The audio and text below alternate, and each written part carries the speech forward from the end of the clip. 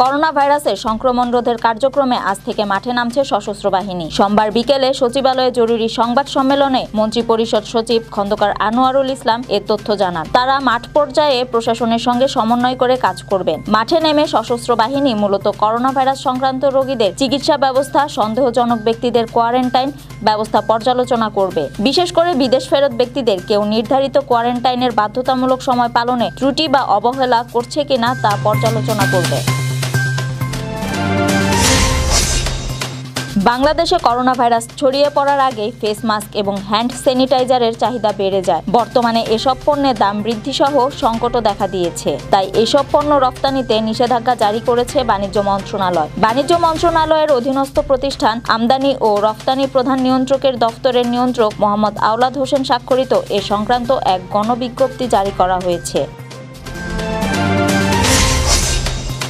আওয়ামী লীগ সভাপতি শেখ হাসিনার নির্দেশে করোনা ভাইরাস প্রতিরোধে ও জনসচেতনতার লক্ষ্যে মাস্ক এবং হেক্সিসল বিতরণ করেছে দলটি। চাঁদপুর, মানিকগঞ্জ জেলা সহ ঢাকা মহানগর দক্ষিণের ২৬ নং ওয়ার্ড সহ বেশ কয়েকটি ওয়ার্ড এবং দৈনিক মানবকণ্ঠ সহ কয়েকটি প্রিন্ট ও অনলাইন গণমাধ্যমের অফিসে এসব বিতরণ করা হয়। সোমবার সন্ধ্যায় মাস্ক ও হেক্সিসল বিতরণ করে দলের ত্রাণ ও সমাজ কল্যাণ উপকমিটি।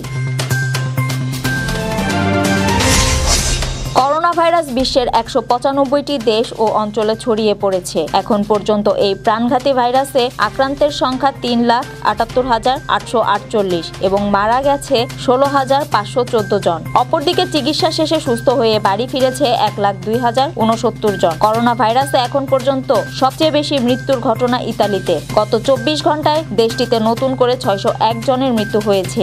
এ নিয়ে সেখানে মৃত্যু ছয় হাজার সাতাত্তর। অপরদিকে যুক্তরাষ্ট্রে এখন পর্যন্ত আক্রান্তের সংখ্যা তেতাল্লিশ হাজার সাতশো চৌত্রিশ এবং মারা গেছে পাঁচশো তিপ্পান্ন জন। স্পেনে আক্রান্তের সংখ্যা পঁয়ত্রিশ হাজার একশো ছত্রিশ এবং মারা গেছে দুই হাজার তিনশো এগারো জন। জার্মানিতে আক্রান্ত উনত্রিশ হাজার ছাপ্পান্ন এবং মৃত্যু একশো তেইশ। ইরানে আক্রান্তের সংখ্যা তেইশ হাজার এবং মারা গেছে এক হাজার আটশো বারো জন। বিশ্বজুড়ে মহামারী আকার ধারণ করেছে প্রাণঘাতী করোনা ভাইরাস করোনার এমন ভয়ঙ্কর পরিস্থিতিতে থমকে গেছে ক্রীড়াঙ্গন। ক্রিকেট বিশ্বেও পড়েছে এর প্রভাব। স্থগিত হয়েছে সব ধরনের ক্রিকেট। বন্ধ হয়েছে বেশ কিছু টুর্নামেন্ট এবং দ্বিপাক্ষিক সিরিজ। এবার জানা গেল করোনার প্রভাবে স্থগিত হতে পারে আসন্ন আইসিসি টি টোয়েন্টি বিশ্বকাপও। অস্ট্রেলিয়ায় অক্টোবর থেকে নভেম্বরে অনুষ্ঠিতব্য এ বিশ্বকাপ অন্তত ছয় মাস পিছিয়ে যেতে পারে, এমন আভাসই দিয়েছে অস্ট্রেলিয়া সরকার। দিন দিন ভয়ঙ্কর হয়ে উঠেছে করোনা। অস্ট্রেলিয়ায়ও পড়েছে এর প্রভাব। দেশটিতে প্রায় দুই হাজার মানুষ ছোঁয়াচে এ ভাইরাসে আক্রান্ত হয়েছে।